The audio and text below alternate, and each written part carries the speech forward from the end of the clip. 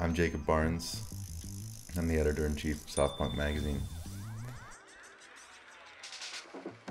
I'm 23 years old and I live in the London Fields area.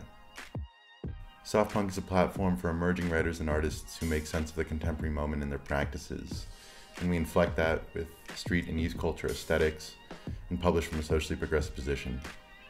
In short, we're doing away with kind of high and low culture our experience was that the industry was such that there was very little space for someone who wanted to come in and do something new, who didn't really want to abide by the rules, and that if we wanted an opportunity to have our own voice, that we were just going to have to make it ourselves.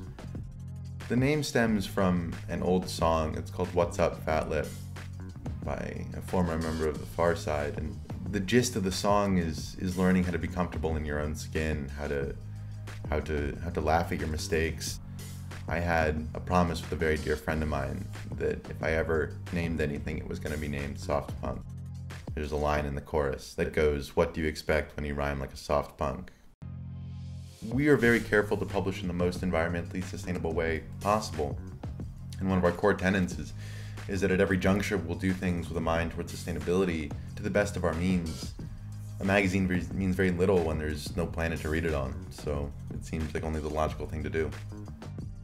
I think from a filmmaking perspective, I love films like Show Me Love. My Own Private Idaho is, I think, an all-time favorite, and I, I'm pretty sure I could tell you every line of Good Will Hunting.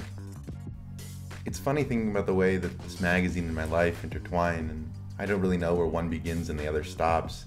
Of course, you know, there needs to be time away from work, and you need to have fun, but I look around and, you know, I look at what's on my walls, and I think I'm fortunate enough to to love the people I work with, or, or rather to work with people I love. And I don't really know what characterizes one versus the other.